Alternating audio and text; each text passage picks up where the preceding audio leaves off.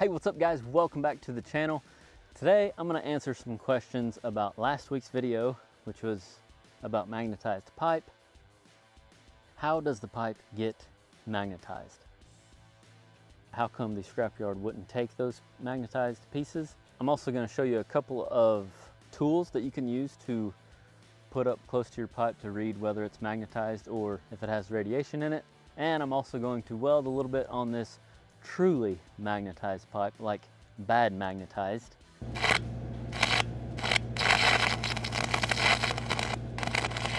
versus the stuff I welded in in last week's video. That didn't really give you a, a, good idea of what magnetized pipe actually looks like whenever you're welding on it. For those of you that follow along, this might look a little bit familiar. This is the job that we done a while back with six inch post and five four and a half inch horizontal rails. First off, I wanna thank the landowner for being patient with me about getting back out here to weld up this magnetized stuff. Fortunately, or unfortunately for me, laugh out loud, I didn't get a chance to weld on this real bad, bad magnetized stuff because the guy that was helping me, Jared, and the, another buddy of ours was out here welding on this load of pipe that I got that was real magnetized. And so they got to enjoy most of it. But I told them to actually leave a few welds for me to come out here and make a video about magnetized pipe I just haven't got out here in a timely fashion. So again, thank you if you're watching, the landowner here. I really appreciate your patience. This was actually a last minute decision to come out here and weld on this today because I didn't have a video ready for this week because Kayla and I have been hooked up working on another course for the A Ross Welding website. One I'm actually really excited about. It has something to do with welding rigs. So stay tuned to the A Ross Welding Trade School. I've thoroughly enjoyed building this course and I think most of you will enjoy it and find a lot of value in it. We will announce what it actually is next week, so stay tuned. Until then, let's talk about these couple of tools that you can get to tell whether pipe is magnetized, how magnetized it is, and whether your pipe has radiation in it or not. Okay, so this here is called a magnetism detector.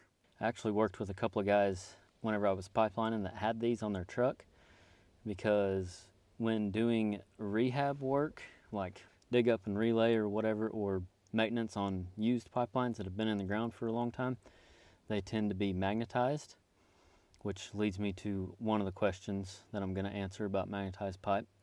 But uh, anyway, the older guys that I worked with carried these on their truck, and pretty much what you do with this meter is you just bring it close to the pipe. See, I'm not even, I'm three inches away from it and it's already pegged out versus if we bring it away it starts to go down. So that's how you can tell this stuff is super magnetized. And you see now that it's been welded on the magnetism is less versus I wonder if it'll get worse down here. No I guess that don't matter. But like this piece hasn't been welded on that's weird, isn't it? Like down here, it gets less towards the middle of the joint, but whenever I move it closer to the end of the joint, it pegs out.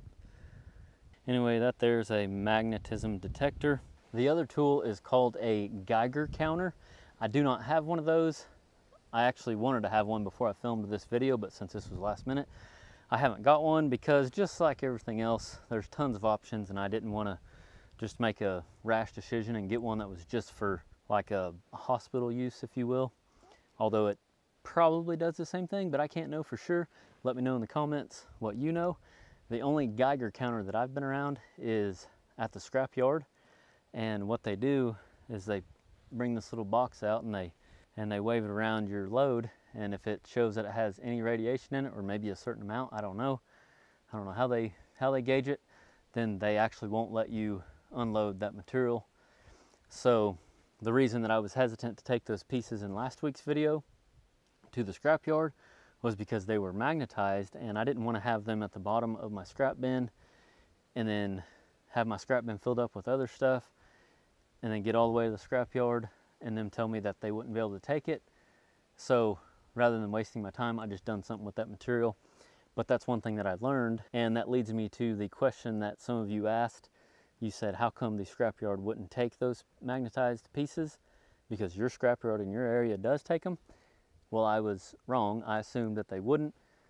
But to clear that up a little bit, there's a difference in just magnetized pipe and pipe with radiation in it. So you can have pipe that's magnetized that's not got radiation in it, I believe. I believe that's correct. If you know more than I do, please let us know in the comments. If you don't read the comment section, please go read the comment section. There's a lot to learn from those that have had way more experience than I have.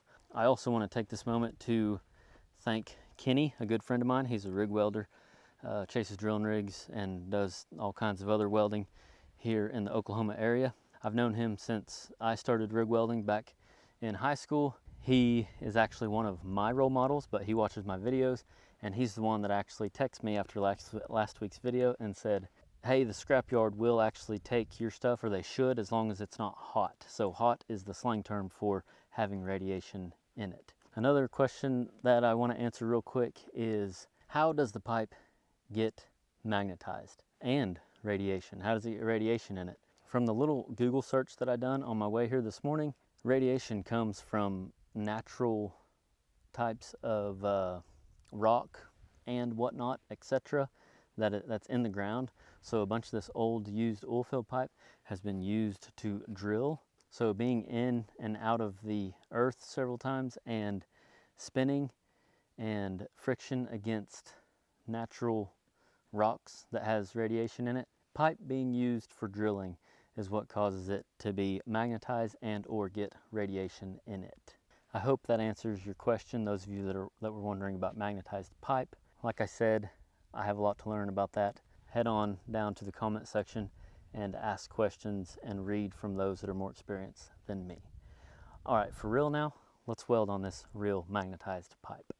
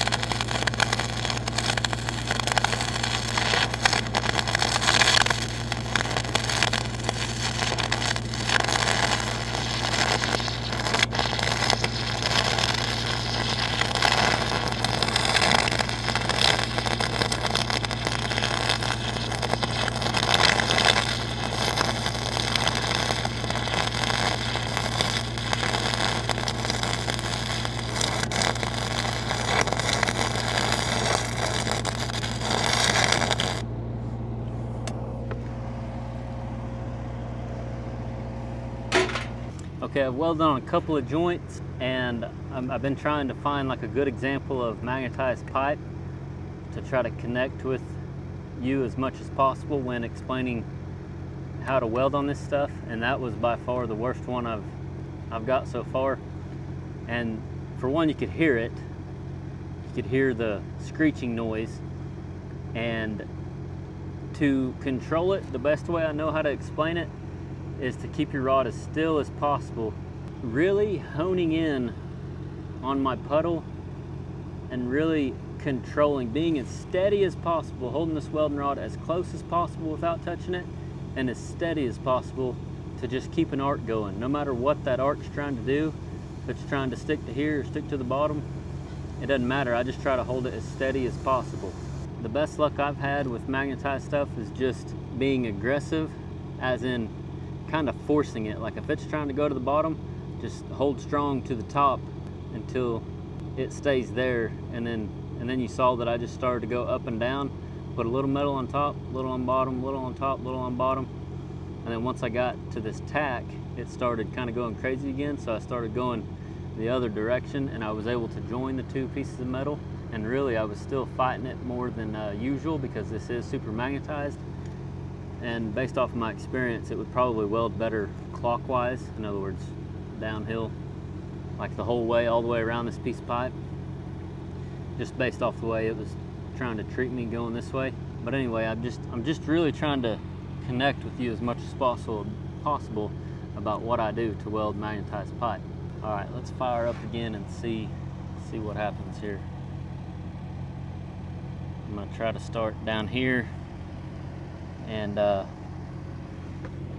go wherever it will.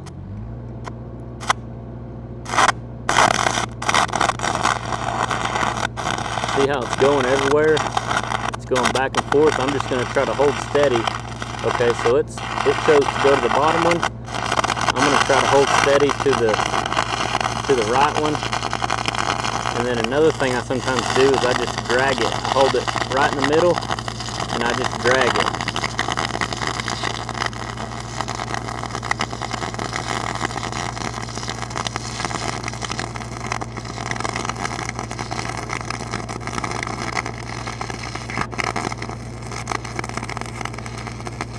I drag it and I take little bitty baby steps.